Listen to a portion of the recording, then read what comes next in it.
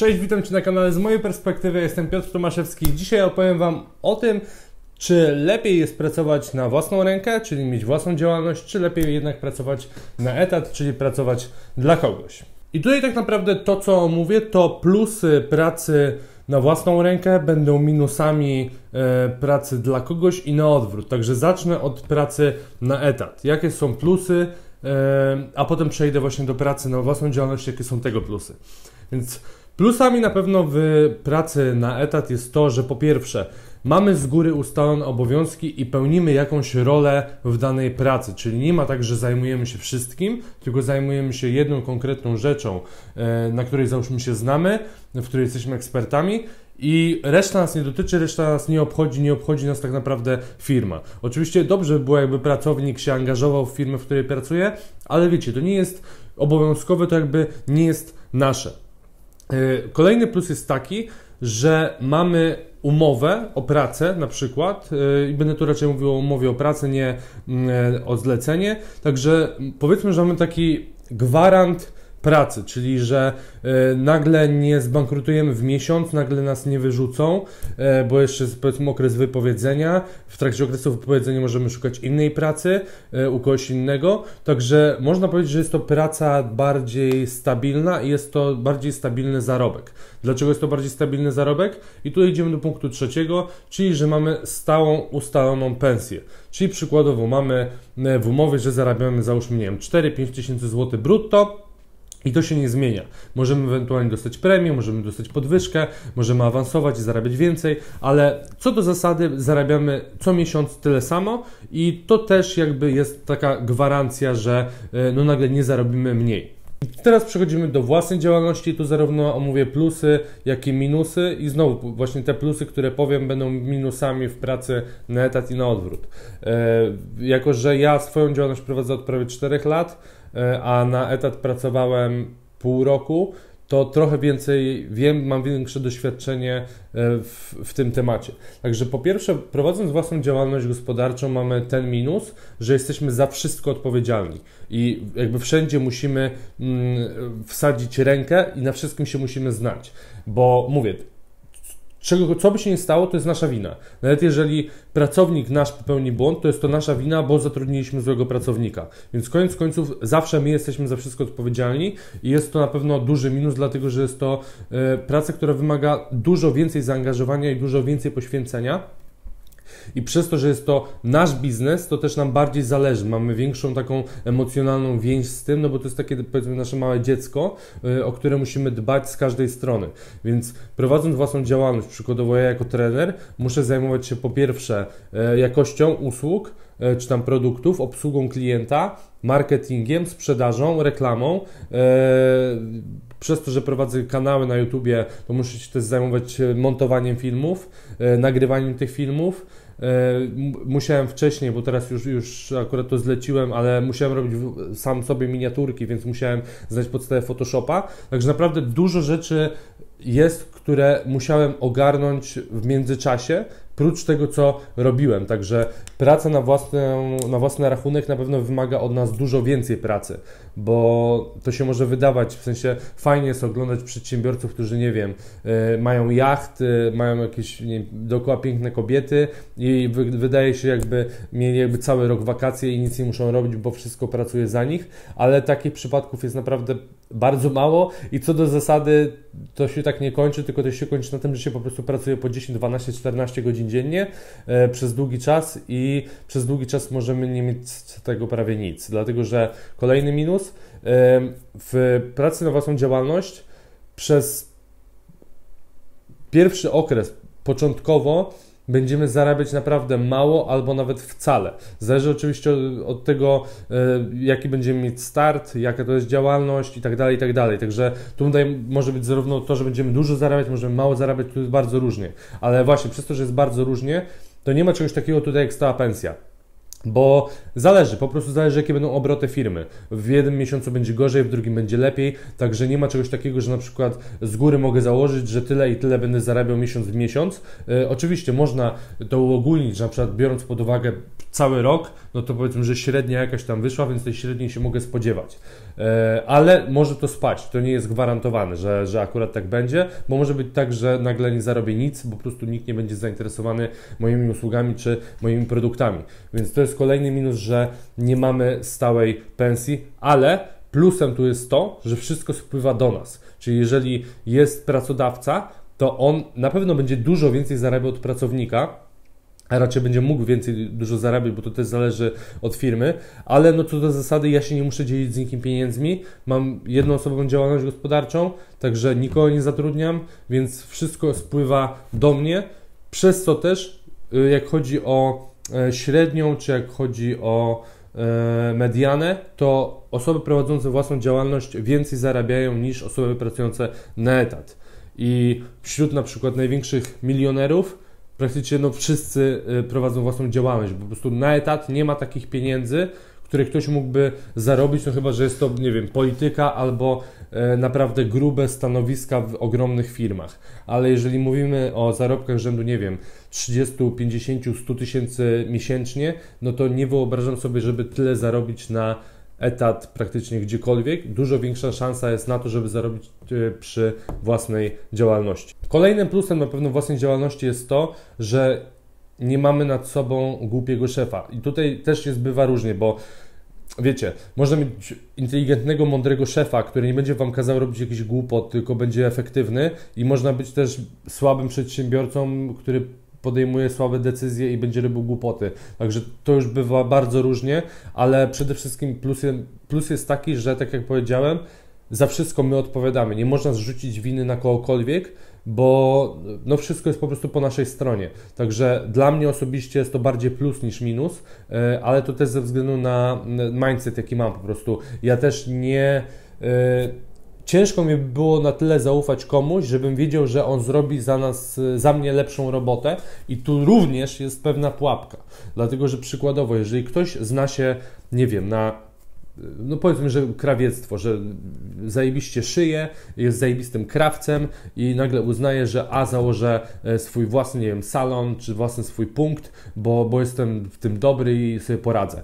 I tu bywa bardzo różnie, dlatego że to może być jednocześnie pułapka dla nas i jednocześnie plus, dlatego że z jednej strony, jeżeli jesteśmy za bardzo zapatrzeni w siebie i jednocześnie nie znamy się na prowadzeniu biznesu, to będziemy po prostu w dupie, dlatego że my się znamy tylko na usłudze, jaką oferujemy, a nie znamy się na całej reszcie, która jest potrzebna. I żeby robić całą resztę, to albo musimy zatrudnić kogoś do całej tej reszty, albo musimy zatrudnić kogoś do robienia tej usługi, a my się zajmujemy całą resztą. I tu według mnie lepiej zrobić to drugie, bo na tym drugim się znamy, czyli robić to, na czym się znamy, a to, na czym się nie znamy, zlecić komuś innemu. Czyli tu przykładowo na przykład wejść w spółkę z kimś, kto się zna na marketingu, sprzedaży yy, i tak dalej, a my zajmować się usługą, bo w momencie, gdy my zaczniemy zajmować się marketingiem, czyli czymś, w czym jesteśmy słabi i zatrudnimy kogoś do usługi, który będzie gorszy od nas, to łącznie yy, po prostu stworzymy bardzo słaby yy, punkt E, który się tym zajmuje, dlatego że nie ma prawidłowych ludzi na swoich stanowiskach, dlatego trzeba mieć na tyle e, w sensie nie można mieć na tyle wybujałego ego i na tyle być arogancki, żeby uznać, że się na wszystkim znamy. Także ja przykładowo dlatego zleciłem robienie miniaturek do filmów, co jest oczywiście małym jakby, małą częścią tego, co robię, komuś innemu, dlatego że wiem, że się na tym średnio znam i ktoś zrobi to dla mnie dużo lepiej e, i pewnie z czasem też będę musiał zatrudniać inne osoby, które będą mi w czymś pomagały, e, w czym również mm, one się po prostu będą lepiej znały ode mnie. Także trzeba umieć zatrudnić prawidłową osobę, a jeżeli jest słaba, to po prostu ją zwolnić. Co też jest ciężkie oczywiście e, dla, dla kogoś, no chyba, że ktoś jest, nie wiem, psychopatą, socjopatą, e, nie ma emocji i po prostu bez problemu kogoś zwolni, ale co do zasady, no, no takie, takie życie, że po prostu my się zajmujemy rekrutacją, ale czyli na pewno powinniśmy się zajmować rekrutacją. Kolejnym faktem jest to, że mając własną działalność, ciężej nam będzie przeżyć na rynku, dlatego że według statystyk 90% firm upada w przeciągu pie pierwszych 5 lat prowadzenia biznesu. Więc jak widzicie, 1 na 10, 1 na 10 osób przeżyje więcej niż 5 lat e, w danej branży. E, czemu to się dzieje, to zaraz powiem, ale pracując na etacie raczej tego nie mamy. Raczej ludzie pracują 20, 30, 40 lat nawet na jednym stanowisku, czy w jednej branży, e, czy wiecie, po prostu znajdą gdzieś pracę, która będzie równie dobrze płatna, bez większego raczej problemu. Oczywiście wiadomo, że można szukać tej pracy parę miesięcy, rok nawet, ale co do zasady ją znajdziemy e, i będziemy zarabiać tyle samo. Mając własną działalność, ja sobie nie wyobrażam, w sensie to jest bardzo ciężkie, żeby zbankrutować i założyć nową, która będzie też równie dobrze e, prosperowała, czy nawet lepiej, bo to już jest naprawdę mm, ciężkie dla głowy. W sensie, jeżeli ktoś bankrutuje i potem znowu staje na nogi, to znaczy, że naprawdę się na tym zna. I tu przykładem niech będzie chociażby mm, obecny prezydent y, Ameryki Donald Trump, który y, zbankrutował bodajże dwa albo trzy razy i znowu jakby doszedł do, do tych pieniędzy, które miał. To mówię, tu trzeba mieć już takie mm, przedsiębiorcze po prostu DNA, bo nie wiem jak to nazwać, ale jest, jest w tym coś, jest w tym coś, że to z jednej strony jest do nauczenia, ale z drugiej strony to jest mocno takie, mm, nie wiem, genetyczne, czy tam e, nauczone w dzieciństwie, a to, to za nami idzie. I przykładowo ja w rodzinie to mm, właśnie mój ojciec miał praktycznie własną działalność od zawsze. Odkąd praktycznie pamiętam, to on się zajmował różnymi rzeczami, ale to było, to było jego, on był właścicielem, czasami zatrudnił kogoś, czasami pracował na własną rękę, ale generalnie to była działalność jego i ja też po części myślę, że to trochę odziedziczyłem, że jakby widziałem to na przykładzie mojego ojca, to trochę jakby z tego e, zaciągnąłem dla siebie.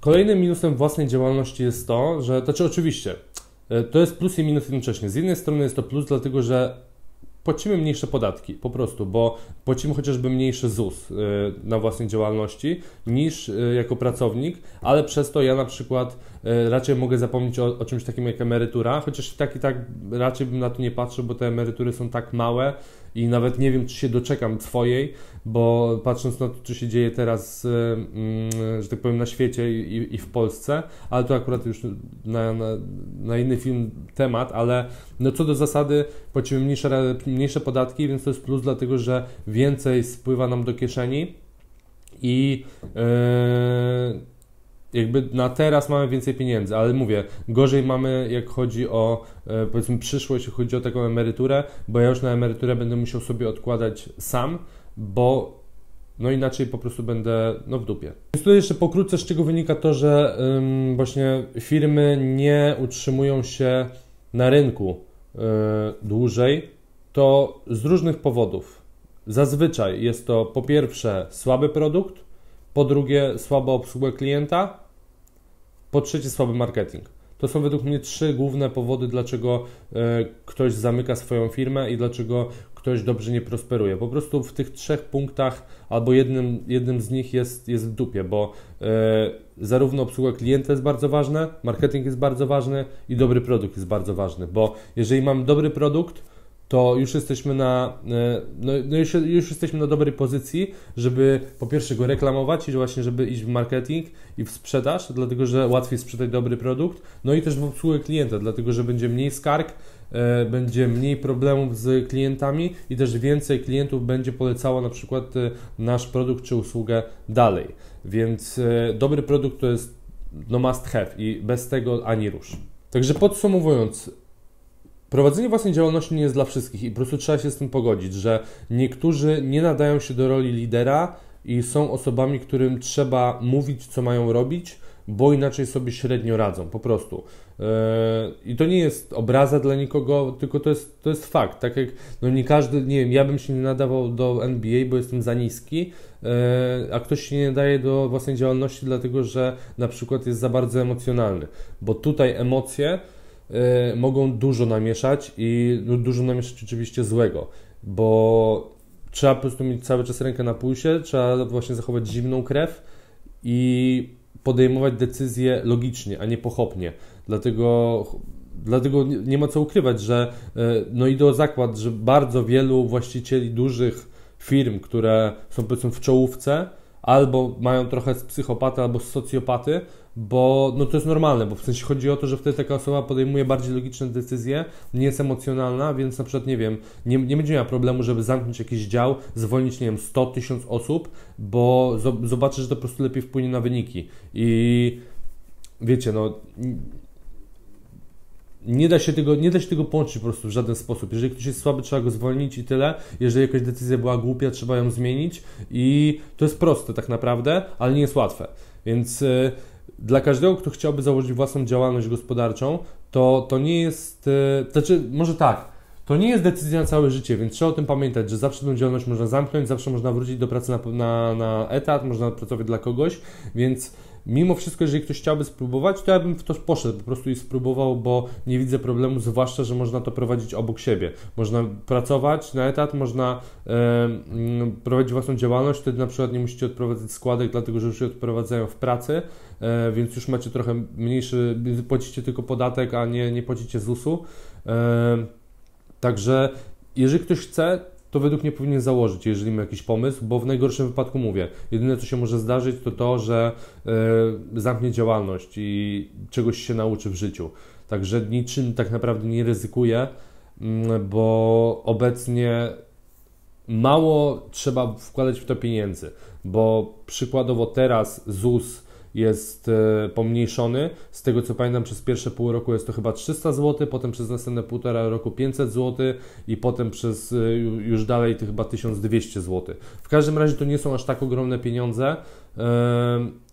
Jeżeli ktoś nie jest w stanie na własnej działalności, nie wiem, zarobić tego 1000 zł czy 2000 zł, to no, może być tak, że się po prostu do sery do tego nie nadaje albo ma słaby produkt czy usługę i trzeba się z tym pogodzić. Także dzięki wielkie za uwagę. Dajcie łapkę w górę, jeżeli podobał się ten film. Odsyłam do innych materiałów na tym kanale. Życzę miłego dnia, czy tam miłego wieczoru, jeżeli oglądacie to wieczorem. Do zobaczenia w następnym odcinku. Cześć!